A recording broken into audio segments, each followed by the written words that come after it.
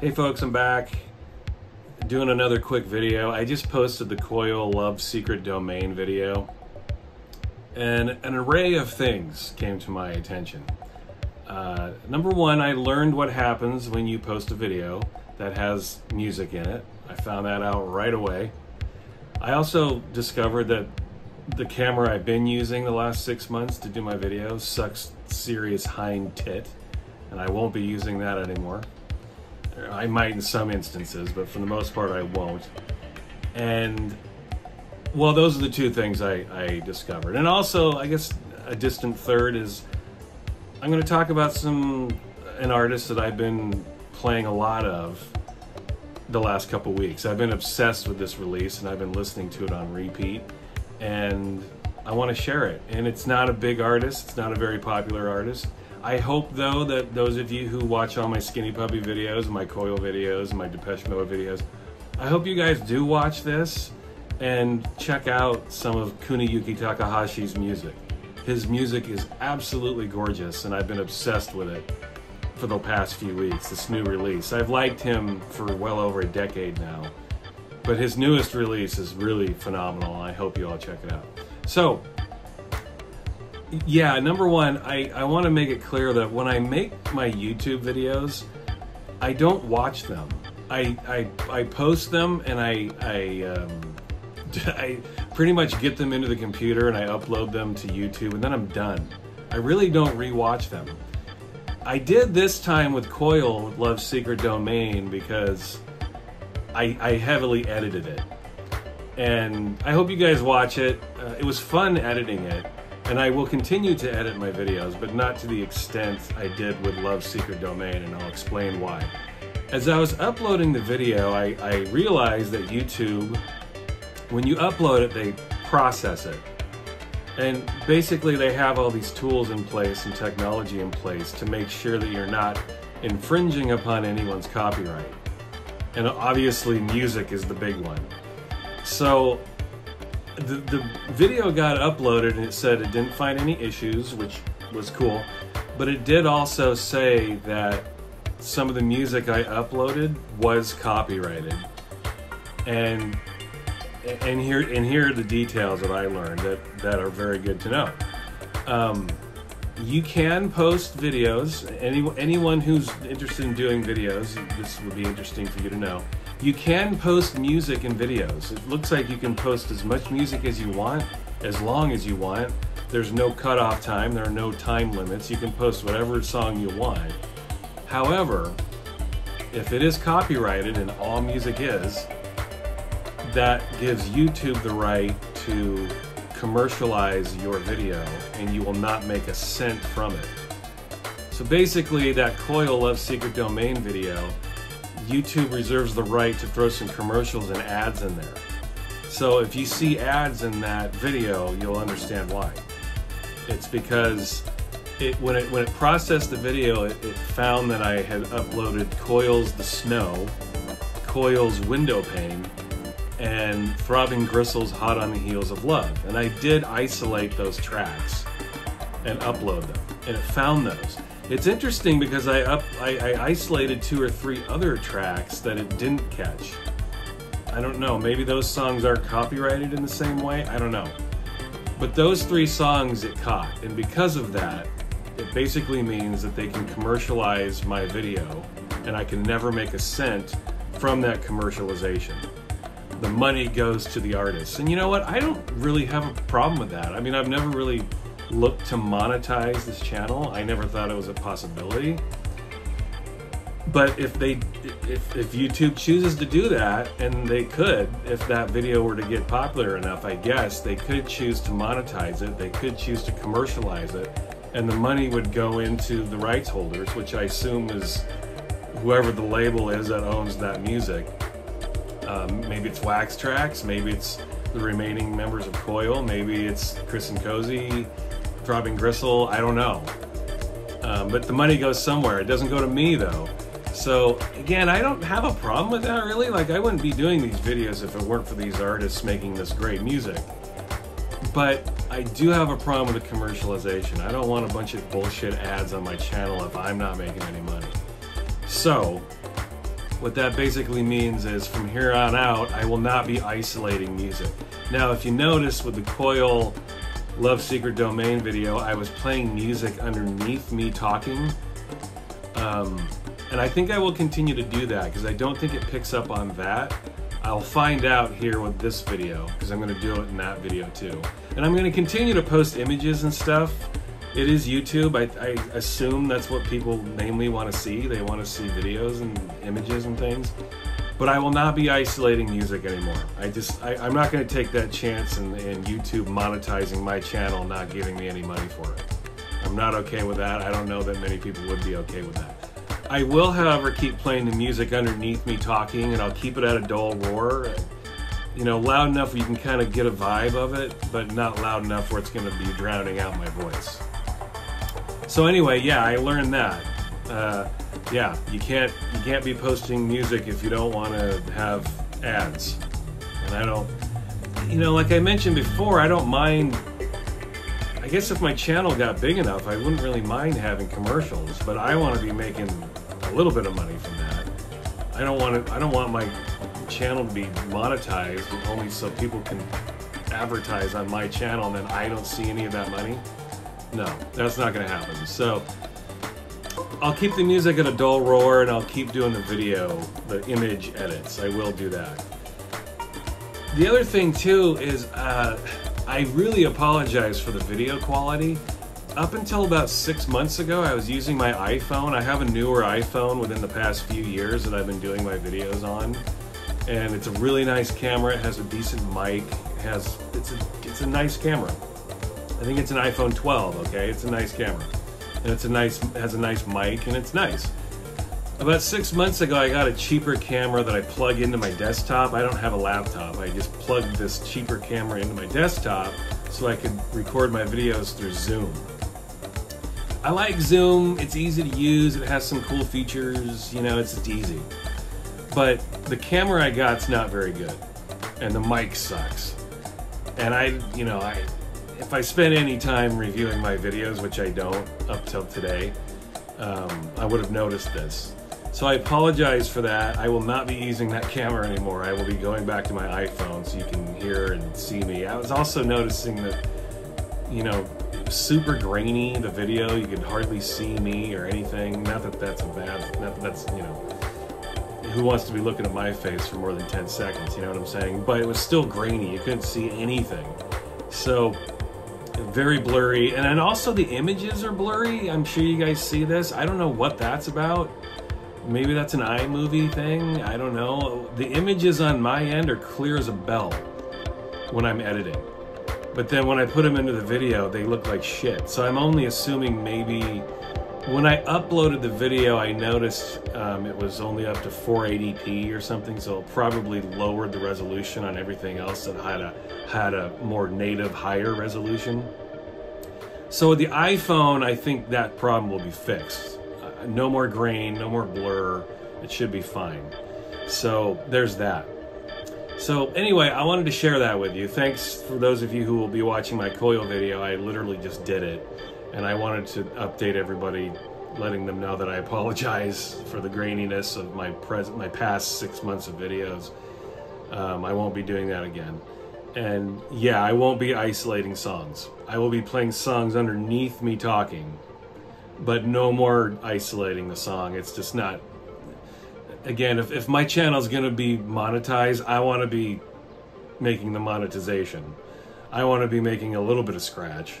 Otherwise, I'm not okay with ads popping up, you guys being having to suffer through that, and not me not making any money. As I as I've always mentioned, it's not about money anyway. But if there are going to be ads on here, the money needs to come to me. I'm sure you guys will agree with that. Or Chris and Cosey or Throbbing Gristle. If I knew the money was going to them, that would be cool. But I don't want to pay some stupid shitty record company for my for my efforts. So anyway, there's that. A good 10 minutes of, of me rambling on about uh, my video setup. So I'm going to spend a few minutes and right now you're going to hear some music queuing up behind me. I'm going to put some music in.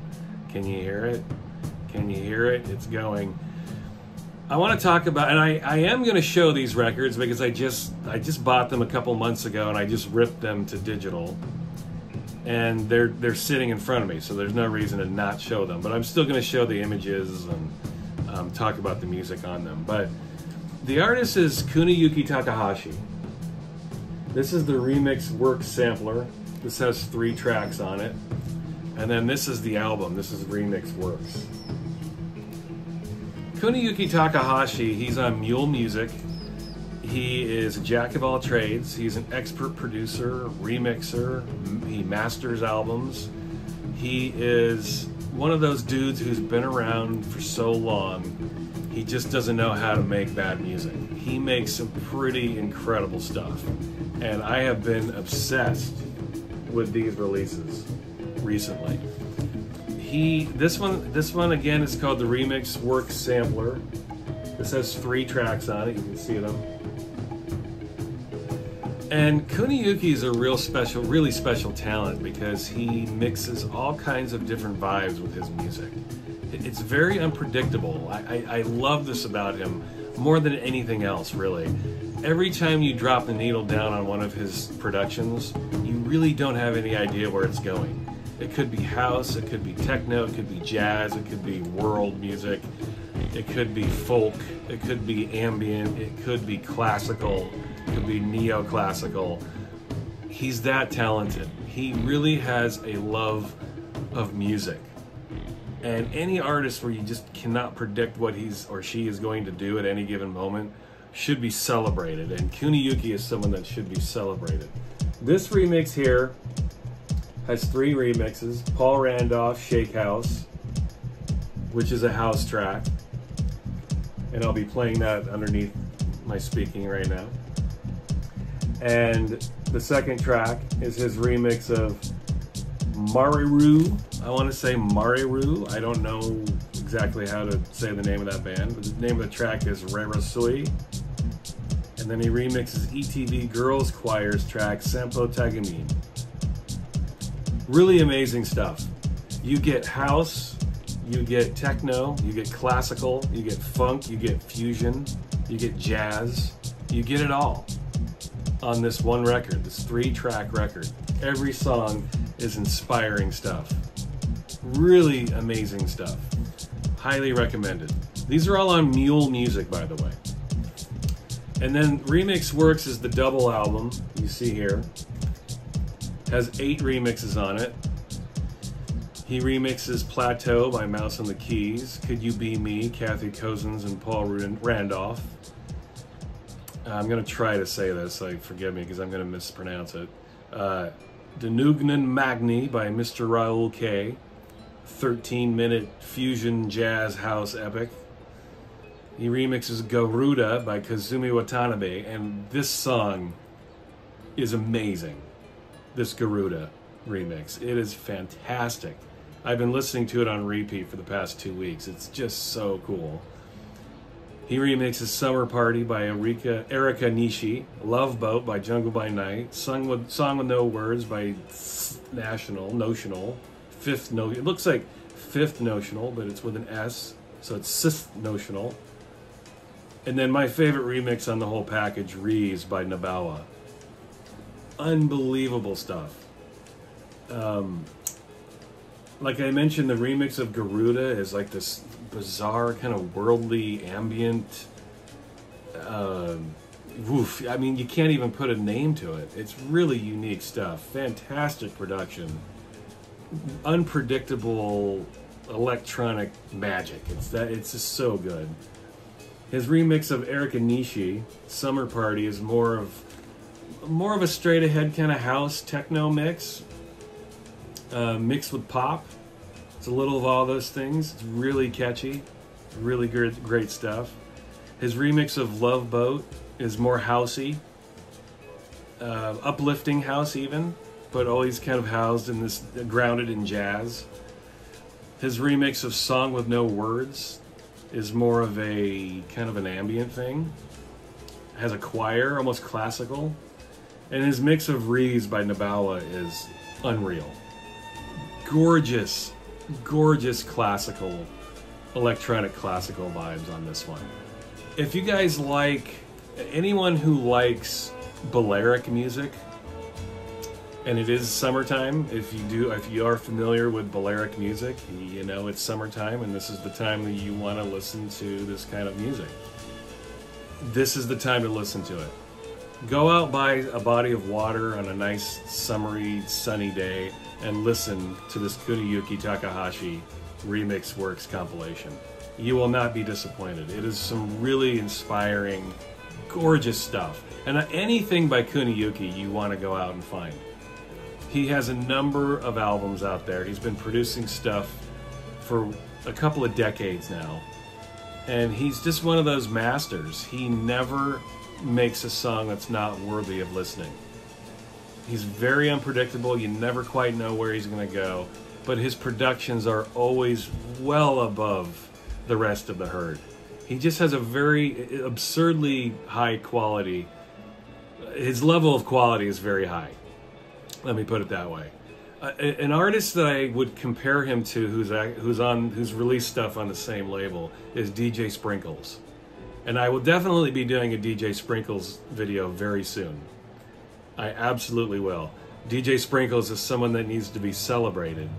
Absolutely. You Sprinkles fans out there know what I'm talking about. But if I were to compare Kuniyuki to anybody, it would be Sprinkles. And you know that, you know, those of you who know Sprinkles know that that's about the highest compliment you could possibly give in the realm of electronic music.